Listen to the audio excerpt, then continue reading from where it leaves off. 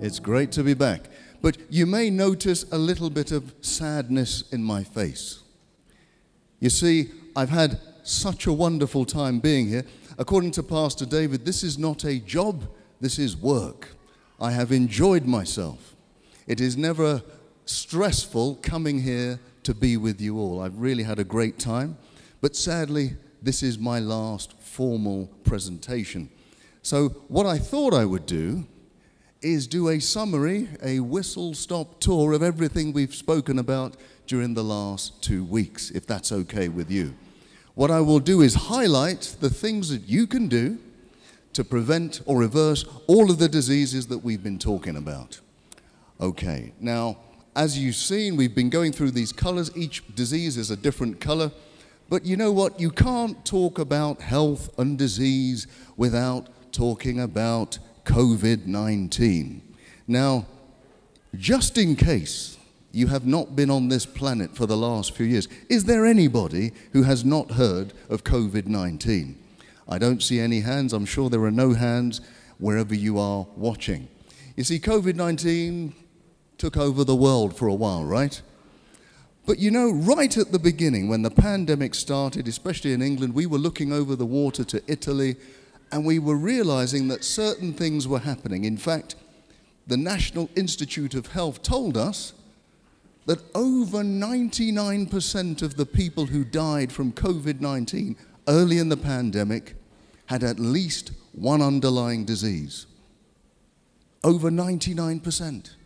If you didn't have an underlying disease, it was very rare or difficult for you to die from COVID 19. Now, what are these underlying diseases? Yes, indeed, they're the lifestyle diseases that we've been talking about for the last two weeks asthma, diabetes, hypertension, heart disease.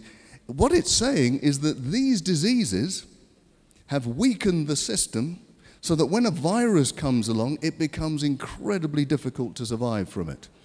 Let me give you an illustration. I think a lifestyle disease is a bit like having a bear stalking you in the distance. I don't know if anybody has had a bear stalking you in the distance. If it's far away, okay, you don't want it there, but it's not imminently behind me, so it's not going to kill me. And that's a bit like having a lifestyle disease. You can have diabetes, you don't want it, but you know what? I'll put up with going to the hospital.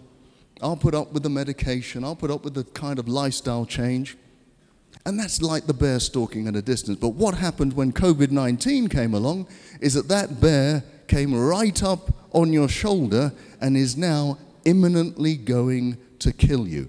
Diabetes that you could live with for decades on medication was now a lethal element in your life. And that is why we try to eliminate all of these lifestyle diseases before the problem happens. Because believe me, there will be another pandemic. Believe me, there will be other stresses in your life that put strain on your body, where if it is weakened by a lifestyle disease, it may be fatal when it doesn't need to be. Before I move on from COVID, let me just explain to you that pretty much all of the viruses that we ever get have their origins in animals. Even if it was generated in a lab, the lab still got that virus from an animal. And it tells us something. Look, first of all, we shouldn't be consuming them. We don't need them to, to be healthy. And the next thing, we shouldn't be abusing them because really, when they're clogged together, farmed together in these little cages and they've got no sunlight, it's really cruel for the animals as well. And it's not good for our health. Um, have a look at this. Uh, I think I should start with the heart. If we're going to talk about disease, because dis- heart disease is still globally the biggest killer, why don't we start with heart? What things can we do to prevent or reverse heart disease? I'm sure you're all great students, you've all had it written down, but let me remind you one of the most important things you can do to reverse heart disease is to have a healthy plant based diet. I mentioned earlier that when I was doing cardiothoracic surgery up in Cambridge, heavy work, really heavy work. We had to do three of these bypasses every single day, enormously tiring.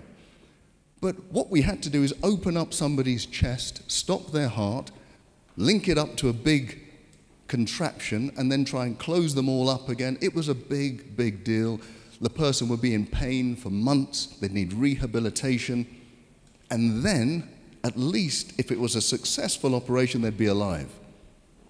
But evidence has shown us from years ago that just by changing your diet into a healthy plant based diet, no meat, no milk, no refined sugar, those arteries that were closing down can now open up. Now, for me, even today, I've been doing this for many, many years. It's still miraculous to me that you can reverse one of the biggest problems in the world in terms of health just by changing your diet. You can get rid of doctors like me and you can just replace it with a healthy diet. That is amazing, and I commend it to all of you. Some of you may have heart disease today. You may, have an op- you may have an appointment to see a doctor in a few weeks or months. I can guarantee you, if you go onto a healthy plant based diet today, by the time you see the doctor, you may not even need an operation. I guarantee that's true. I've seen it with my own eyes. So that's heart disease. What about high blood pressure? If I was to ask you, do you know somebody with high blood pressure? Everybody would say yes. It's such a prevalent disease. Now, what few tips have I given you to reverse high blood pressure? Well, plant based diet is absolutely good. You have to exercise. We've seen Teeny skipping along this very stage, demonstrating how we have to exercise. It's brilliant. Water. I think water is one of the simplest things you can do to lower your blood pressure. Remember the example I gave you. If you were swimming in a lake, that's fine. If you were swimming in a lake of honey, that will be incredibly difficult because it's so thick. And that's what happens to your blood. If you don't have enough water in it, it becomes incredibly thick. You then have to use a lot of energy to push that blood round the system. Therefore, your blood pressure has to rise. Here's something though, going on from the plant based diet, we said that greens do something quite remarkable in our arteries they get the interior of our arteries to release a chemical called nitric oxide. That nitric oxide opens up the arteries all over. I told you nitric oxide is the active ingredient of Viagra. Okay, I know none of you have heard of it, none of you need to use it, but I can tell you when it comes to things like erectile dysfunction, rather than reaching for the pill, the best thing to do is reach for those greens. And let me remind you, gentlemen, because this is very important. If you have an episode of erectile dysfunction, you're at a high risk of having a heart attack or a stroke in the next five years. So rather than just going to the pill, start thinking about changing your lifestyles. Number three, cancer. What things have we said about cancer? Well, I always tell people, and I've been speaking to a lot of people in the clinics throughout the weeks, if you have cancer, there are certain things that you must do. Cancer loves sugar, you must eliminate refined sugar. Vitamin D is key. You must have high levels of vitamin D. I recommend 20,000 units per day. Along with that, vitamin C, high dose. I have seen with my very own eyes people on high doses of vitamin C having their cancer reversed. We cannot guarantee it. Don't, don't quote me. You can't guarantee it. But I have seen people on high doses of vitamin C have their cancer reversed. And remember, if you do have cancer, you must seek medical advice. I told you earlier during the week that those people who just say, I just want to go the natural route, often they don't survive. What you must do is seek medical attention and do the lifestyle, and then you have the best possible chance of surviving cancer. Medical attention alone um, does something, but it doesn't do everything. I remember when I used to be in the hospitals, the doctors would treat you for cancer and then allow you to eat the same foods that would cause cancer. That doesn't make any sense.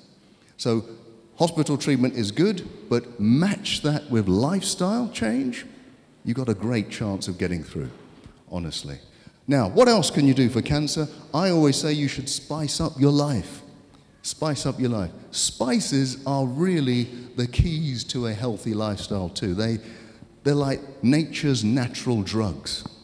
The more spices you have in your life, the better your cells are going to be. Turmeric, most of us have heard of turmeric. It's a powerful antioxidant.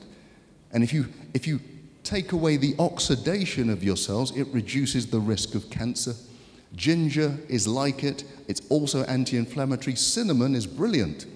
Cinnamon, not only does it lower your blood sugar, which, if you have low blood sugar, the cancer doesn't grow too well, but cinnamon is brilliant in terms of fighting off viruses. In fact, they discovered this over 100 years ago. The women who harvested the cinnamon bark never got measles, never got tuberculosis. And cinnamon, if you have anybody in your family who has any kind of viral illness, you give everyone in the household cinnamon, it's less likely that you'll get the infection. Cardamom is very interesting because it, it actually makes you make more natural killer cells. They have a, a lethal name, but they do an awful lot of good. They're the white blood cells that defeat cancer. Diabetes. How do you beat diabetes? Definitely, you need a healthy plant based diet. But what else do we need to do? We should, every time you go for a meal and you're a diabetic, as you put your fork down, you should get up and go for a walk. Get up and go for a walk. What does that do? Well, as you're walking, you're using the big muscles in your body. Those muscles will absorb sugar very quickly. And so it will keep your blood sugar levels quite low you then don't need to release a lot of insulin to deal with the sugar, and that means your cells can become insulin sensitive again. Insulin sensitivity is the opposite of diabetes. It can actually cure diabetes. I've told you quite boldly that anybody with type 2 diabetes does not have to live with it. Type 2 diabetes is completely reversible. Type 1 is more difficult, but type 2, completely reversible. So you do not have to live with it. Change your lifestyle and get rid of it. Okay, autoimmune disease, that was the last talk I did. That refers to all of these antibody diseases that are attacking different parts of the body. There are roughly four or five hundred of them. Wherever you've got tissues in your body, you will have an auto antibody if things go badly. And I must say, although I didn't talk about it, one of the biggest causes of infertility is autoimmune disease. Now, I know people go to the hospital for IVF treatment, absolutely, but rarely do they get to the bottom of what is the problem. And it's usually that you've got antibodies attacking your organs inside that makes it almost impossible to conceive. So, everything you've heard me talk about with autoimmune disease, you need to apply if you want to get pregnant. Okay. Now, you, you see my details. I'm hoping that in nine months I'm going to get lots of communications of people telling me, yeah, we have a child. So it's possible, believe me. Now, some of the things, if you didn't come, if you weren't here the other day, some of the big things that you need to do to get rid of autoimmune disease is get rid of milk, because milk is one of the key factors that generates these antibodies. Deal with stress. Make sure you avoid refined sugar. Have high doses of vitamin D. If you do that, you have a great, great chance. A bit like a, a, a little boy called um, Bart Simpson don't have a cow man. Stay away from the milk. Okay. Now, this is increasingly a problem on this continent of Africa. Didn't used to be. Um, you go back 50 years, there was very little obesity on this continent in Africa. Now, with all of the imports of Western culture, including Western food and Western lifestyle, we're getting exactly the same problems that they get in the West. How do we defeat it? I always say, um, get rid of the white stuff. This is not a racist statement, folks. This is not a racist statement. I'm saying get rid of the white rice, white flour, white pasta, and of course that white substance, sugar. You know, sugar, if you look at it from afar, it looks a bit like heroin. And by the way, it activates exactly the same parts of your brain for heroin addiction. That's why giving up sugar can become so difficult.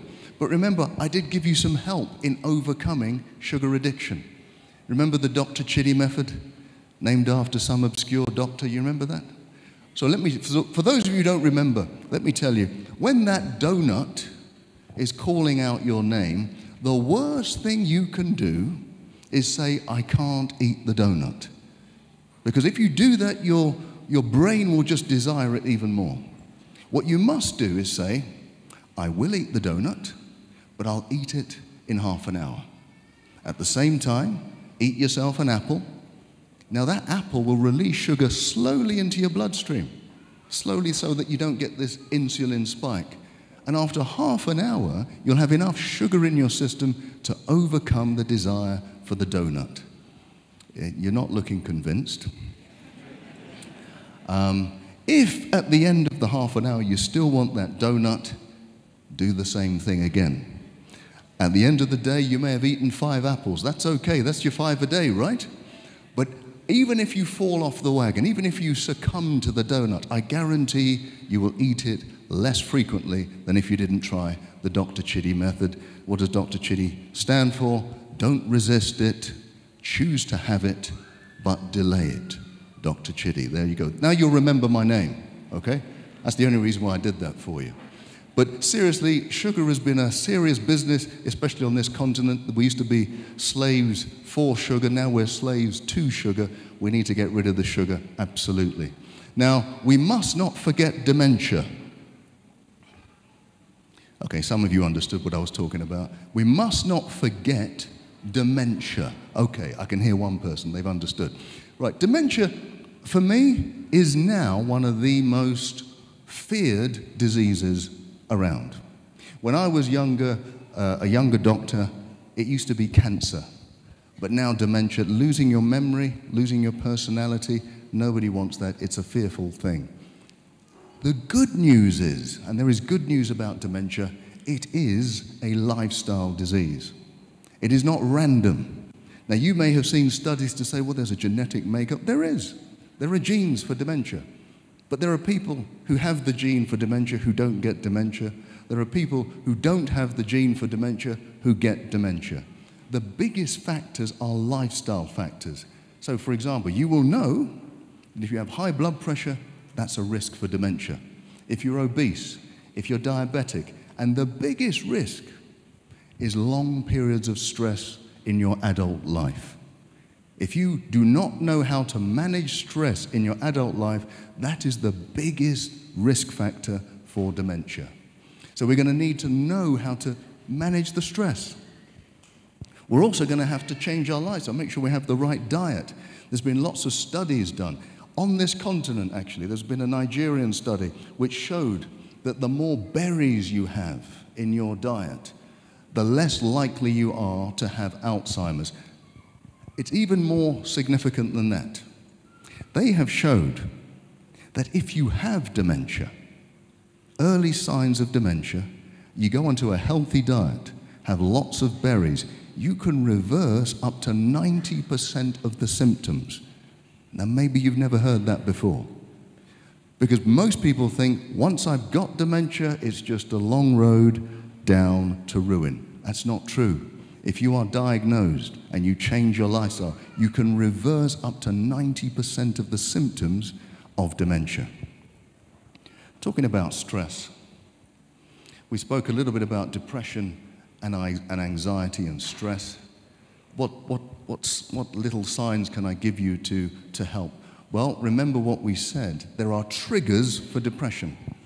There are triggers for stress. And the big ones are debt, divorce, disease, and death. Now, we can't avoid some of them, but when they come to us, the best thing to do is to not hide away and keep it to yourself. The best thing to do is to get help quickly.